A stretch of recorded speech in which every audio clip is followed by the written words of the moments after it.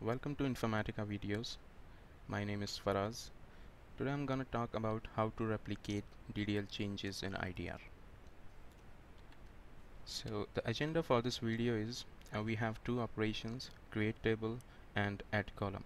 Today we will see how we can replicate these two operations from source to the target through IDR.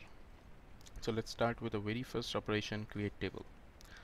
So let's move to the IDR console. And uh, connect it. So I already have one config but uh, I'm gonna start with a new config. We may also use the existed config. So let's give a name 01 say okay. So here I'm gonna take Oracle as my source database. Connect I'm also taking Oracle as my target database. Mm, connect. Okay so now source and target are connected. And so here in map tables tab we have one option DDL capture. So this prompt is for schema replication. Click on new. So we have two things here source schema and target schema. So in my case my source schema is mfsrc and target schema is mftgt so basically this uh, uh, prompt what it does is it maps the source schema and the target schema. Apart from this we have two more options create table and drop table. So to replicate the DDL from source to the target we need to check this create table option. Save and close it. So now what uh, I'm gonna do is I'm gonna save this config. So this prompt asks for IDR recovery. Say yes. Okay. So now let's move to the source schema. So my source schema is mfsrc let's create a new table. Say the name is table 01 column 1 let's take it number.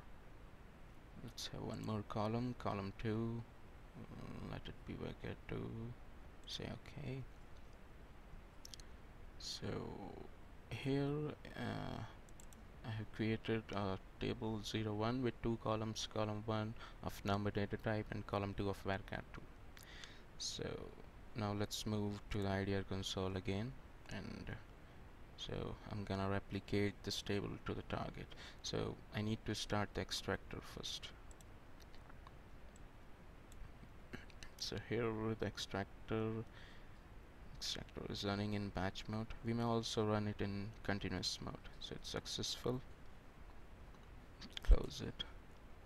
So now I'm gonna start the applier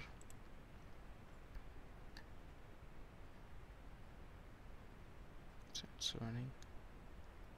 Successful so here you can see uh, this applied 1 DDL changes. So close it. So from the IDR console itself we may check if the table is applicated or not. So this says the configuration is outdated. Do you want to update it? Say yes.